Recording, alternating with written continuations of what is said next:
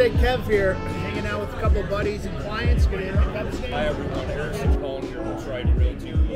Here with uh, my business partner Matt Fritchell and Cost Seg Kev, the one and only. Stay tuned. I met I met Kevin uh, from a referral, and uh, he was very personal, knowledgeable, and that's why I went with Kev for my cost seg. Real quick, it's not the whole thing. He strung me along. I had to take him out to lunch five times before we did anything. I was it was uh, That's five it was times. I know. First buy a building, we contact Kevin. We send him the, a copy of the most recent appraisal that was conducted and the closing statement.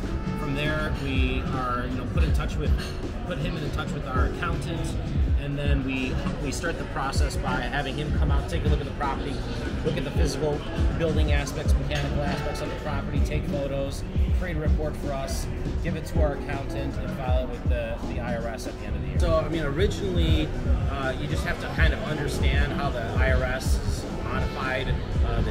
code recently. You have to talk to a, a real estate professional um, such as Kevin to understand and make sure that you get your accountant on the phone as well.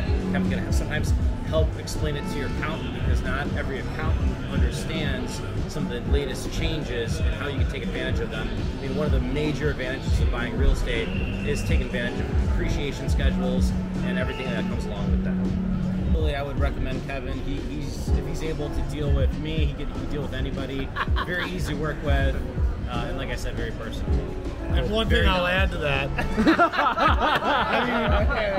I mean, isn't it worth 20 minutes to meet with him to see if you can save a significant amount of money on your taxes? Yeah, that's cool. Well said. Very true.